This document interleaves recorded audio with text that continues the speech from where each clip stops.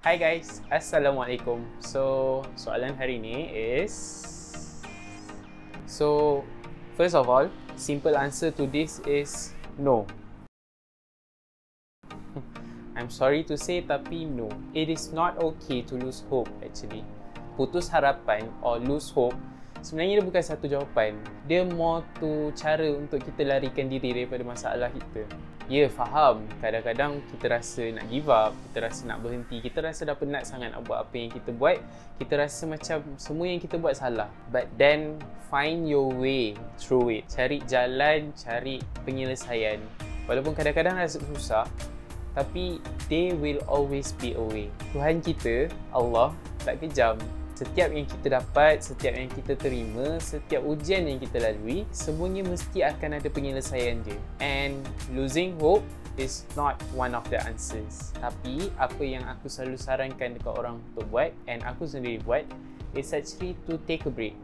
Rehat sekejap.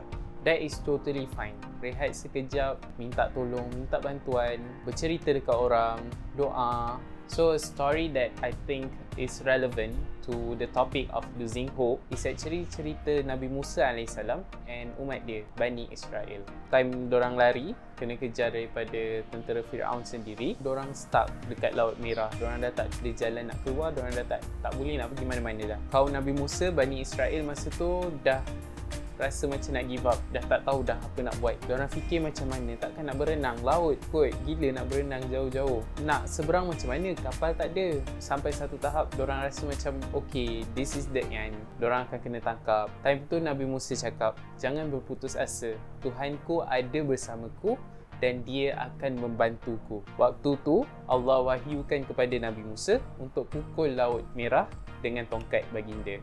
And laut merah terbelah dua. So with that, Bani Israel dapat seberang, Nabi Musa dapat seberang and tentera Fir'aun tak dapat mengejar. And actually, orang pun lemas dalam laut merah. Cuba bayangkan kalau Bani Israel and Nabi Musa sendiri, they actually lose hope. Bayangkan kalau orang putus harapan, apa akan jadi kat kita sekarang? But then, diorang tak putus harapan and diorang berhenti seketika. Diorang berdoa, diorang percaya, diorang minta tolong and Alhamdulillah, Allah tolong. So, this is actually a short answer to that question. Try to fight. Never stop fighting. Try your best to fight out of those hopelessness. Kadang-kadang, that moment kita nak give up tu, macam kisah Nabi Musa tadi, is actually moments away untuk kita dapat jalan keluar. Keep on fighting even though it's tiring, even though it's very very dreadful. Kita rasa penat, kita nak berhenti.